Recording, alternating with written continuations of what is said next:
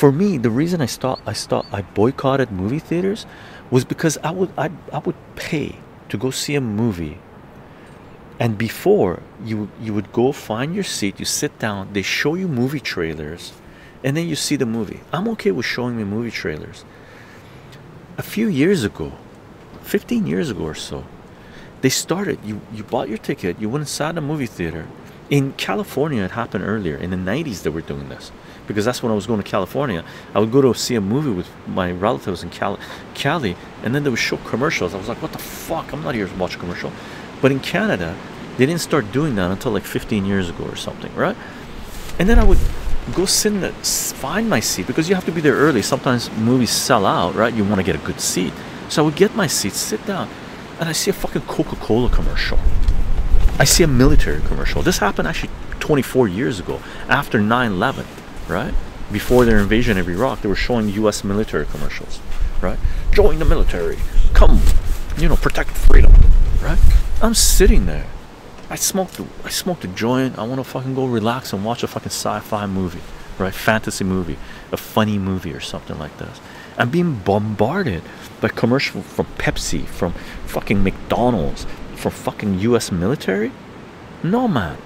If I'm paying for the fucking movie, show me the fucking movie, not a fucking commercial. I'm not your fucking cattle, right? I'm not your fucking cattle, right?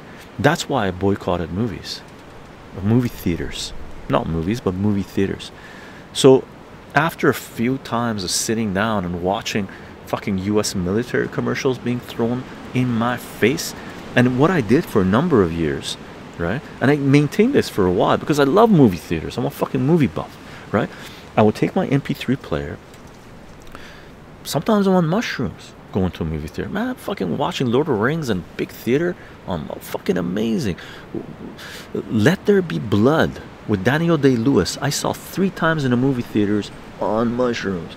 Fucking phenomenal. The soundtrack just blows your fucking mind, man. Right? 15 minutes of no talking, just music and visuals. Fucking phenomenal right? Okay. So what i would do for a number of years i took my mp3 player put on headphones and would blast music. I sit down and as soon as and as soon as you know the lights would go down i play my mp3 player. I close my eyes. I sit there like this with fucking music blaring in my ears.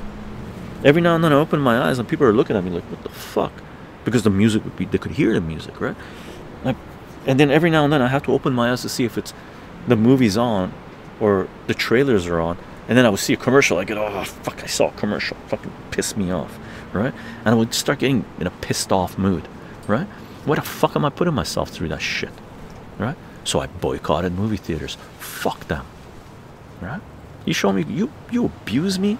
I don't I don't like being abused right? I might put up with it for a while but I'll fucking I'm done with it. When I'm done with it I'm done period